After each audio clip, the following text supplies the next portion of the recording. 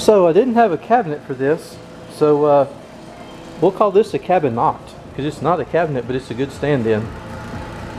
And uh, it cooled down, just cycled off, and it was down to 25 degrees.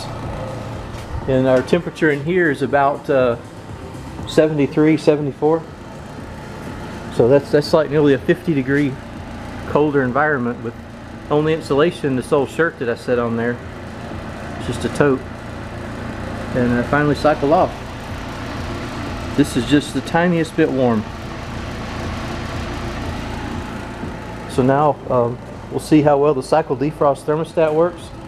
That should have to uh, warm up enough that all the frost on the coils melts off from there before it starts again. You can see the coils in there. So we'll just uh, give it some time. Alright, it's just defrosted in there. You can see the white is gone off the coils and the uh, suction accumulator. And our cabinet temperature, air temperature is getting back up near 40.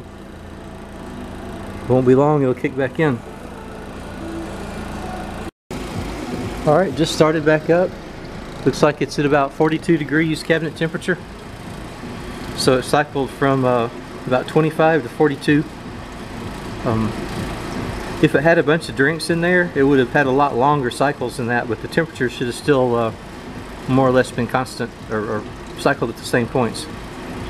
And the key to this system working, it has to cycle above and below the freezing point so the coil will uh, defrost but then during the run cycle it needs to get well below that so that your drinks are cold enough since it is meant to be a drink uh, cooler.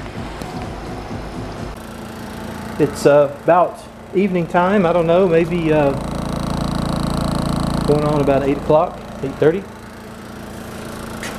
This has been working all day long and cycling on and off like it should.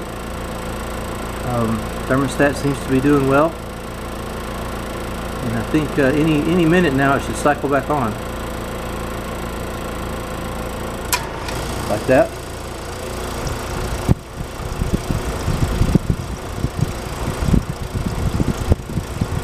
With this uh, tote around it, the, the cabinet, there's just been a little bit of condensation that's come out.